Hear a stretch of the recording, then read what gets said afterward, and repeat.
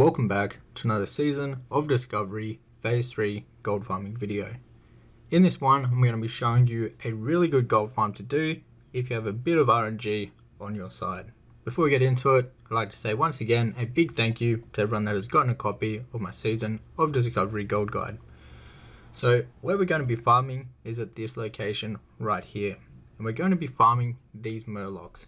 And you may have already guessed from the title, but the main item that we're going to be farming for is the big mouth clams. This has a 0.5% drop chance for the golden pearl, and the golden pearl is worth a lot. You also get the zesty clam meat, which is used to make a new waylaid supply in phase 3. So the golden pearl is used in a bunch of different crafts for professions in season of discovery phase 3 and it has a really good price. So these are the mobs that we're going to be farming. Now there is two different kinds. There is this one like the blue one and this mainly does and only does melee attacks. So if you have a class that can do some kiting, you can go ahead and kite these guys very easily. There is also a green mob. This has a ranged ability and also does melee. So just to keep that in mind, you can farm either one of them. So this is the one that does ranged abilities.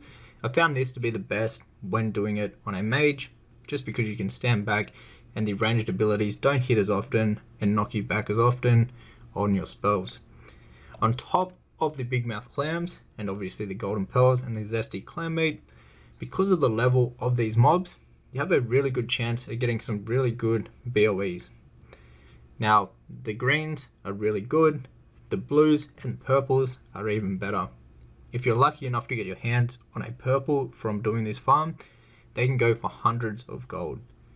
But don't rely too much on that because obviously they are pretty rare to go ahead and get them to drop. But if you have some RNG on your side, and get lucky enough, you can get some really valuable purples that can sell for a lot of gold.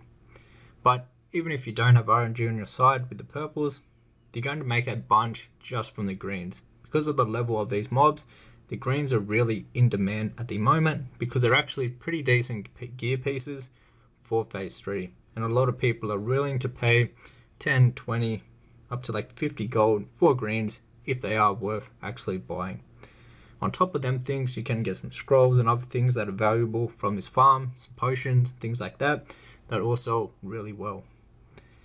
Now, what I would recommend doing with this farm is going your best single target build.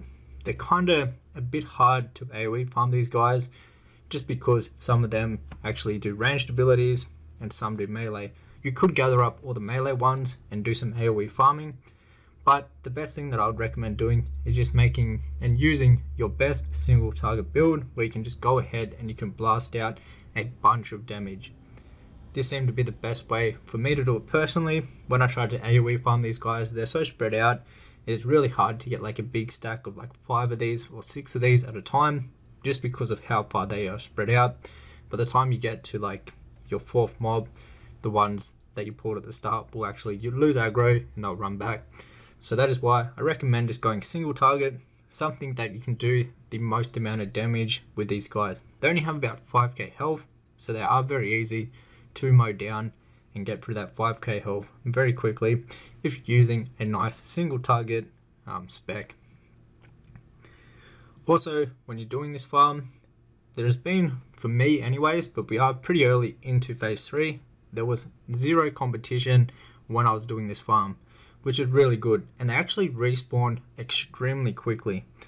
By the time I got through like four mobs, the mob at the start would have already respawned. So what I found myself doing was just running around in a tiny circle, killing the four same mobs over and over again because of how quickly they respawn. Now they have a pretty good drop, chance on the big mouth clams, and obviously inside of the big mouth clams, your zesty clam meat is 100% drop chance, so no matter what, you're going to make a lot of steady gold from this zesty clam meat, depending on how much it is on your realm. Obviously, on my realm, I can get anywhere from like 5 to 10 silver each for those, and they sell extremely quickly because they are used in the waylaid supply. Ooh, as you can see, we just got our first green BOE in the video. There's actually none of these posted up on the auction house on my realm at the moment, so I could go ahead and pretty much pick whatever price I want for that item. However, it wasn't a crazy shield, and nothing too special. So we maybe just throw it up for 10, 20 gold and see how we go with that. Now with the green BOEs, if you don't manage to sell them, maybe after like five reposts on the auction house, what you could also do is you could disenchant them and you could sell the disenchanted materials up on the auction house. The disenchanted materials uh, sell very very quickly compared to BOE gear. So if it's a junk piece of BOE gear, you could try to sell it obviously first, but if you don't have any luck selling it on the auction house, just go ahead and disenchant it. Um, so you can sell that and you know you're going to sell the disenchanted materials very quickly. Let me know down in the comments what has been your most successful farm in phase 3 at the moment. I would love to know.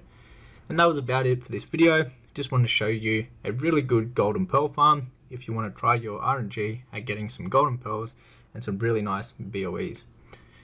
If you could, drop a like on the video, it really means a lot and shows me that you are enjoying these sort of videos. If you'd like to learn the best ways to make gold in Season of Discovery, you can learn exactly how inside of my Season of Discovery Gold Guide, which will be the first link down below in the description box. This guide is constantly updated, and if you already own a copy, you get all future updates completely for free sent to your email address.